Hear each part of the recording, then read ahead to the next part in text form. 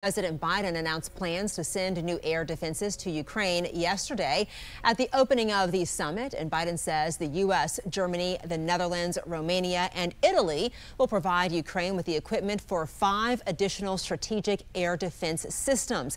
Ongoing support for Ukraine in the war against Russia is a top priority at the summit.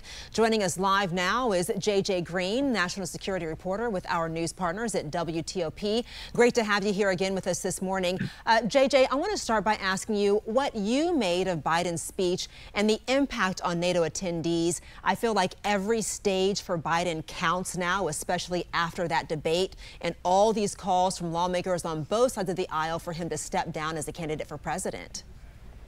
Yeah, that's right, Adriana and Robert. Good morning. Um, that uh, moment yesterday for the president was a scripted moment. It was a key scripted moment. And according to sources and officials that I've spoken to, it was an important moment because it showed exactly what they expected from him and what he has done many times over the years. But what some said was not there was the unscripted. And that's really what I think a lot of people are concerned about what was uh, going on during that particular debate with Donald Trump, the unscripted. So they appreciated what they saw yesterday. They were happy about it, um, but they're still a bit concerned about what happens in the off scripted moment. So we'll have to wait and see what happens in the future with that. Yeah, understood. So why is this Ukraine assistance package that was announced so critically important?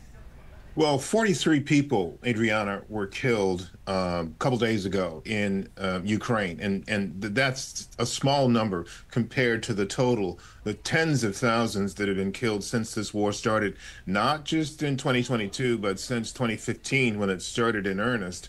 Uh, and uh, Russia continues to uh, ramp up its aggression. It's looking for more opportunities and striking a school rather a, a, hospital, a children's hospital, was a bridge too far for many people who've been looking the other way uh, about regarding Russia's activities. So what's important now is that Ukraine get what it needs to stop this once and for all, and hopefully NATO will play a key role by doing what you just said: uh, Germany, Netherlands, Romania, Italy, and the U.S. providing these key systems for them.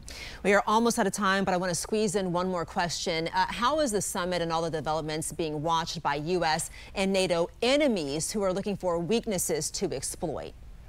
Yeah, a lot of people don't think about this, but uh, one of the key enemies here or adversaries is Russia. It has an active uh, embassy in Washington and it uses that embassy, as it does in many other cases, uh, to spy on the U.S. And uh, the D director of national intelligence also talked about Iran earlier this week, using any uh, opportunity it can to foment discord and, in some cases, funding protesters to protest against the U.S. U.S. systems and even NATO. And don't forget, Russia and it, Russia and Iran are partners now.